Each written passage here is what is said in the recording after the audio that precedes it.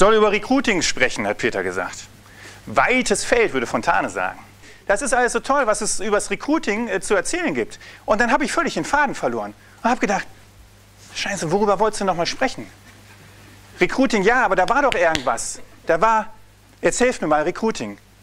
Was gibt es da so für Begriffe? Talentmanagement fällt da immer. Was gibt es noch? Employer Branding, aber das war's. Active Sourcing, aber das war's nicht. Also ich habe dann, hab dann überlegt, das war das mit diesen Ressourcen. Nee, das war was mit Bewerbern, die fallen, dieser Begriff fällt auch an. Kandidaten. Ja, schon mal gehört den Begriff? Social Media, Human Relations und jetzt ganz neu, jetzt muss ich auch fragen, Jan Weilbacher, Human Resources Manager, hat aufgerufen zur Blockparade. Wem sagt etwas Blockparade? Wem sagt dieser Begriff etwas? Es ist ganz mau. Ja? Also da müsst ihr echt nochmal nachlegen. Ja? Am besten mal ähm, googeln nach, was hat HR verdammt nochmal mit der Digitalisierung zu tun? Ja? Gibt spannende Meinungen zu? Jan Weilbacher.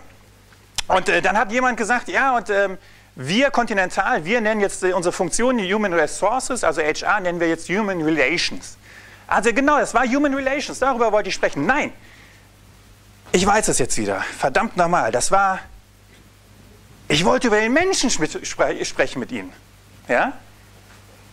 Um den Menschen geht es im Recruiting. Habe ich wieder ganz vergessen bei dieser ganzen Digitalisierung.